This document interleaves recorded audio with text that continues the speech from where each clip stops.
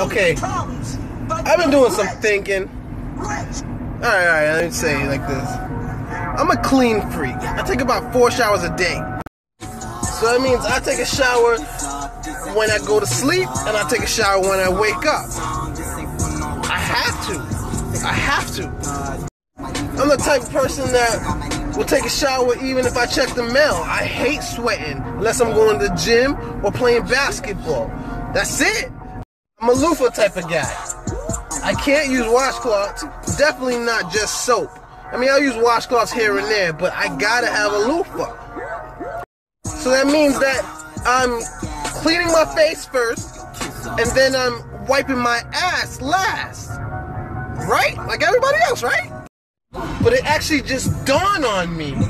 It just hit me that I'm waking up in the morning and I'm wiping my face again after wiping my ass. Think I just threw up on myself. I feel like I just died. What? That's just nasty, yo. I think I need to get at least another loofah. I'm gonna get two loofahs. I'm gonna wipe my face with one and the other one's for my ass, yo. That's a must. I have to.